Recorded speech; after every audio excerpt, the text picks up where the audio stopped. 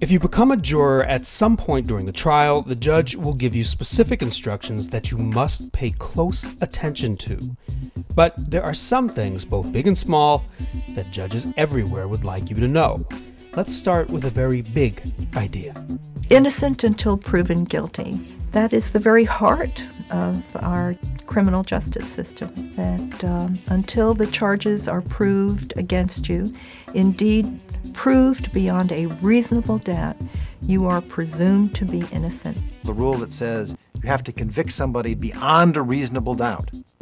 The reason you put that hurdle so high is that you want to be sure that the innocent person doesn't get wrongfully convicted.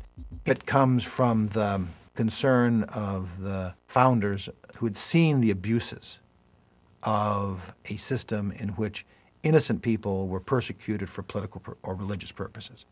In a civil case, the standard of proof is preponderance of the evidence. You just have to show that more likely than not, something greater than 50% likelihood that the case points in the favor of the plaintiff.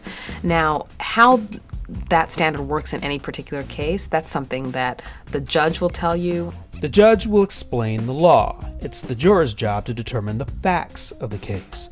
Jurors do not need law degrees. The very reason they are there is to use the common sense of an ordinary citizen. You are here to listen carefully and exercise your best judgments. They're the ultimate triers of fact. And there is a list of some smaller but no less important things judges would like jurors to know.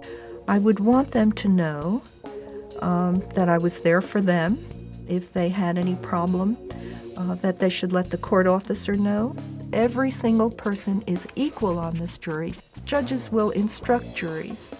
Uh, please not to read the newspaper uh, about the case, not to watch television about the case. I think you should be prompt. If you're on time, we should be on time. You're going to listen to the judge, but ultimately, what's at stake is for you to use your best judgment to reach the right decision on a matter that is of extreme importance to a fellow human being. What's at stake is our American system of justice. The jury is so vital to that. Having a well functioning jury system is really at the very heart of our justice system. That's what's at stake.